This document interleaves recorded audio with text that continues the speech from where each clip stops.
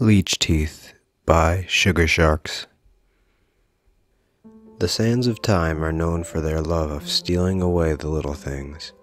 They sift away memories of childhood best friends and passwords to your old computer as they flow steadily towards the bottom of the hourglass of human life. Soon, such small things are buried under the TV static humdrum of everyday life. You wake up, you brush your teeth, you go to work. The unadventurous endeavors of a living being. Helena Putlam is no exception. She is old now, knuckles gnarled and fingers cold, approaching her 87th year on this earth. Her husband passed on some time ago, ushered onward by the fleshy muck cooking in his brain that neither time nor hours of radiation could dispose of. His funeral had been attended only by her and someone with a shovel, and she did not cry then. Sometimes, now that she was approaching the twilight of her life, she thought of him and wondered bitterly if he awaited her in the great beyond or whatever lie in store for her. She did not miss him, she said when asked, she merely was aware of his absence. Like one misses a tooth, she said once to a nurse who made the mistake of asking. You know, when you have that big hole you keep sticking your tongue through? The house she lives in had always been considered the creepy witch house by local children. Her husband had a rude temper and no love for them when he was alive. Their basement had been full of confiscated balls, bikes, frisbees, and whatever other nonsense they would drop as they screamed and ran from the old man. He always brandished a shiny bronze sword when he went after them. Helen kept it on her mantle now, besides her taxidermy owl she lovingly called Jolene, and a massive upper skull of a male deer. If the outside of the house, with its uncut grayish grass and peeling periwinkle paint, didn't frighten the children, the inside surely would. Helen and her husband were collectors. She more than him, of oddities. Their house was riddled with unsettling portraits of Victorian women and children, countless wet specimens of creatures born wrong, her pride and joy was a cycloptic piglet, and more bones than you could imagine. Helen was a tidy woman in her youth, but her husband reveled in filth. The house was covered in dust, grime, and mold. The air was full of dancing particles that shimmered in what little sun came in through the kitchen skylight. The kitchen sink was cracked and smelled rotten. The cabinet doors were losing their paint, and one hung off its hinges, revealing her collection of strange teacups. Most of the windows were covered up in thick layers of butcher paper. Her husband was a butcher once upon a time. They got good meat, good bones that way. Her Cyclops piglet came from the pig farm he had worked on. Then, when it came time to retire, the boss let him take some of the paper home to hide away with the wife. The sitting room was something to behold. Old gray couch with unidentifiable stains barely hidden by floral print. A single armchair with the indent of her husband still in it. A coffee table with his morning paper and his favorite coffee mug still on it. The rug had once been shaggy and chic yellow. Now it was matted with who knew what and charcoal colored. The spaces around the furniture were fitted with stacks of paper and miscellaneous bones she had not yet gotten to categorize. After all those years, she still dared not to venture into her own sitting room. Beyond the sitting room, up the stairs by the door, was her room. It had been her husband's office once, but now she slept on the cot in the corner, among the many taxidermied animals on the wall and his shelf of wet specimens, including her piglet. The bedroom had not been touched since her husband died eight years ago. The door was locked, and the key buried someplace in the backyard. She had no interest in digging it up. Overall, her existence in her bleak little house was dismal. She woke, she brushed her teeth, and she went to water aerobics, or to the local dentist to fix yet another tooth of hers. She felt no joy in her life. That is, unless she was in the forest. Beyond her backyard was miles upon miles of untamed boreal forest. It rained so often it was misty more than it wasn't, giving the air that cool stickiness you can find in, on the Pacific Northwest. There were many signs warning locals to keep out, but Helen had never been one to follow rules. She liked to venture out into the foreboding wilderness and simply be. She found bones in the woods often, usually small things like squirrel remains or an unlucky beaver that bit off more than it could chew. She found other things too, little lost things like gloves, bottle caps, spare change, buttons, an occasional shoe. She liked seeing evidence of humanity beyond the fences surrounding her woods.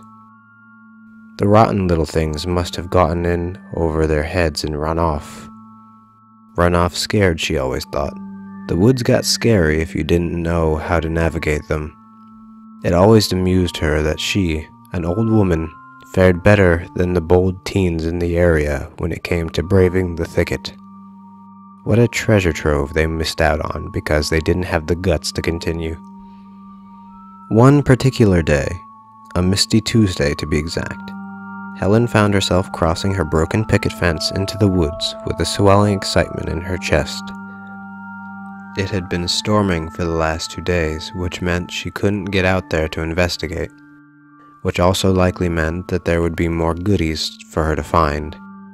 She donned herself in a little red cardigan covered in knit ladybugs and a pair of light wash elastic banded jeans. Covering up her cotton ball tufts of white hair with a black bucket hat she found in the woods one day. The forest was very odd when you entered it.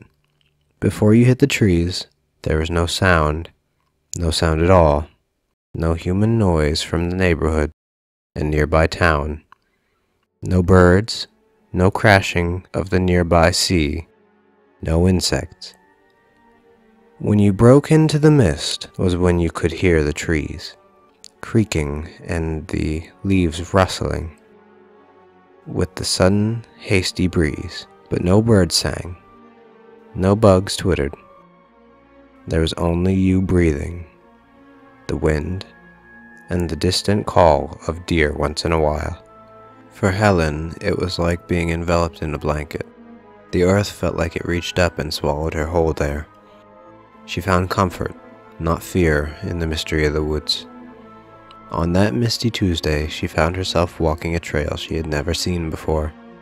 The woods did not have any real trails, it being off limits and whatnot. But the one she found seemed oddly real compared to what she was used to. Nevertheless, she followed it with a basket in hand and an eye for new bones. Her collection of teeth, she thought, had been lacking. The same sands of time that steal away memories like to swallow up time as well. The forest always felt unaffected by time to Helen. It always seemed just lit enough to be safe to see, no matter what time of day, and no birds ever rang in the morning or settled down into the night. She figured it was all just her mind falling apart at last, opting not to dwell much. The trail rewards her for her trust with a milk crate off to the side full of empty greenish bottles. Dirt and bugs infest them now. But she grins as she plucks one from the crate and tucks it into her bag. Something to put teeth in, perhaps, she thinks as she continues on. Soon after the milk crate, she stumbles upon something human a tube of lipstick, open with the stick itself crushed into the trail. Helen scoffs. Huh. Teenagers running off to have sex in the woods, she reckons. She plucks the tube off the ground and examines it before tossing it into her bag to be thrown away. Helen is content to keep walking down her path into the weaving woods, but something catches her eye deeper into the undergrowth beyond the little trail. If she squints, she can see the vague shape of something laying in a heap, flies buzzing around it like mad, yet making no sound. She grins a crooked grin shuffling into the underbrush without a second, without a second thought towards whatever lies in the plants beyond. She is not disappointed with the gift the forest has offered her. Indeed, she will have the teeth she had a hankering for. A pile of muck and cloth lies at her feet, covered in dirt and flies. She nudges thick pieces of pinkish something out of her way with the tip of her shoe brow knitting as she tries to discern what from what. She manages to find a little change purse under it all, red velvet with a rusted clasp. She opens it to find a chunk of greasy reddish hair, two massive incisors, a few deer teeth, one or two molars she can't identify, and a little piece of red fabric. Perfect, she coos, as she plucks one of the incisors from the bag. It is beautifully sharp. When she presses the tip of the pad of her thumb, it presses so hard it goes numb. Her tongue finds her own incisor running along the pointed enamel ridge. She drops her bag. Helen reaches up with dirty fingers to feel the empty spot in her mouth where she had just gotten a canine pulled. It, like most of her teeth, had rotten to the core. Human teeth were so feeble. Human mouths were so useless. But this, whatever the forest had gifted her, it would serve her well. Helen doesn't have to think before she raises the new tooth upwards, pressing the jagged roots against the soft flesh of her gum. She pushes hard, and the flesh splits as the roots dig into her gums. Blood fills her mouth with sourness. Her eyes sting with tears.